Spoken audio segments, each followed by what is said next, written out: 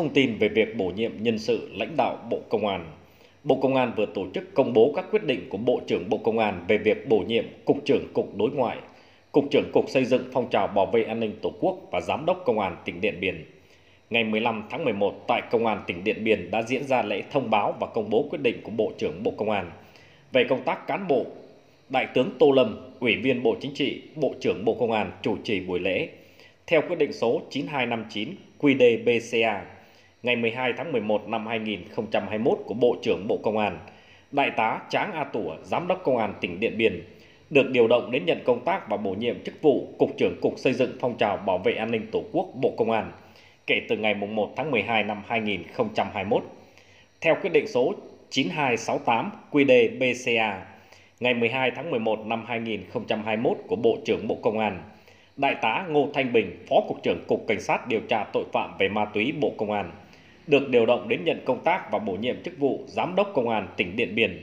từ ngày 1 tháng 12 năm 2021.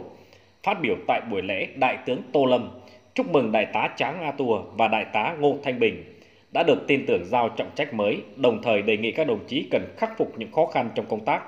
có tinh thần cầu thị, tích cực học tập, nâng cao trình độ về mọi mặt,